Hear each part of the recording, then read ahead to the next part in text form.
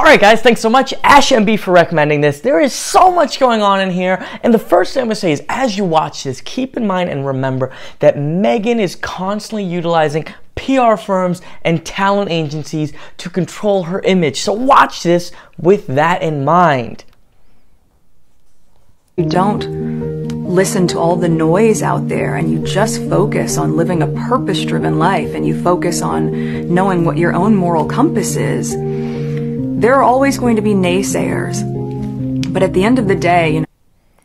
Okay, so first of all, again, on brand for Meghan, talk about authenticity. You're all about purpose, and you don't care that anyone knows that the work that you're doing is so important because you're doing so much of it behind the scenes, and you need to always tell us about that.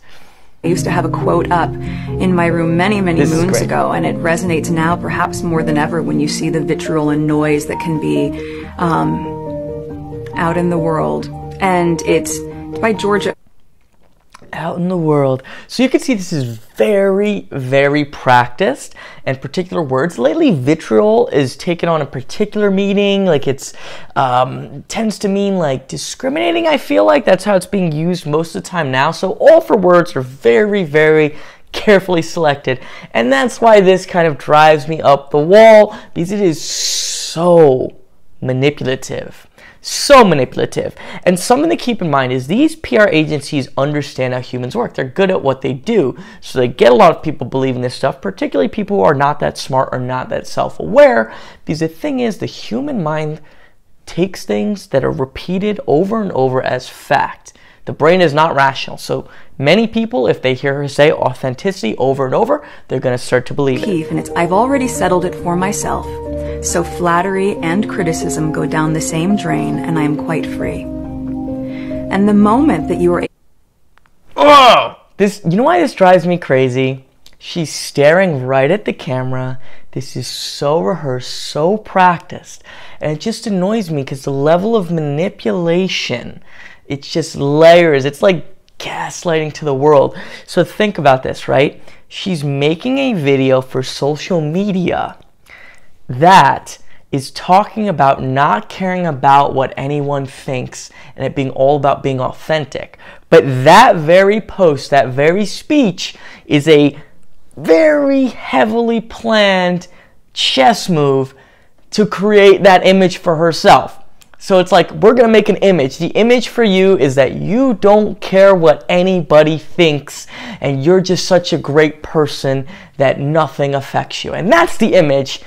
Oh, we need to. I, I think she's in with varying talent agencies and PR firms. We should look into those. I'm not saying do anything about it, but just know like these are nasty, manipulative people, and they can't be trusted. It's basically like propaganda to be liberated from all of these other opinions of what you know to be true, then I think it's very easy to just live with truth and live with authenticity.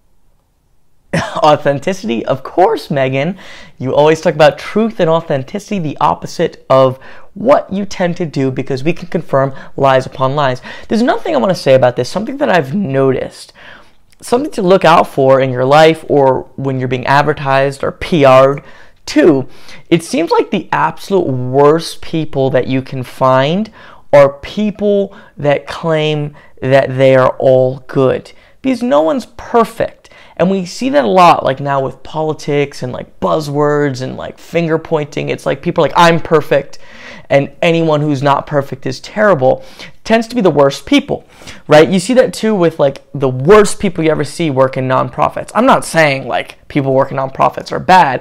I'm saying the bad people in for-profit businesses are bad. The bad people in nonprofits tend to be worse. Like I live here in a big city, you get all these people coming up to you saying, "Hey, do you care about animals? Do you care about human rights? Donate to this cause."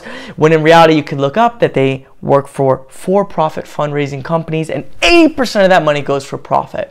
So it's the people who are claiming we're all good and I've seen them lie and say they don't get paid at all. So it's the people who are willing to say I have no ego, I have no human desire for accolades and they're just willing to deny any of that that are the worst because they have like they don't have that like self-consciousness that would cause you to admit that you're not perfect. It's like sociopath like and that is how I that's how I choose to move through the world. just the way of talking is very non-genuine. I choose to move through the world. Like it's very planned. It, it's no normal person talks that way. I mean, people in very particular industries talk that way. Maybe like some college professors, people, what have you. So that's how you know it's not genuine. It, it's very manipulative. And to me, also, I think it's part of like the the the cultiness and the tribalism because it's using particular words and ways of speaking that most people don't. So it, it's a way to recognize, like, oh yeah, yeah, like you can know know things about each other. It's like, oh, if you're saying vitriol and move through the world, then if you have an enemy, you can accuse them of this, that, and the other. Anyways, thanks for watching. Thanks, Ash MB. Great recommendation. I'll see you soon. Keep the recommendations coming.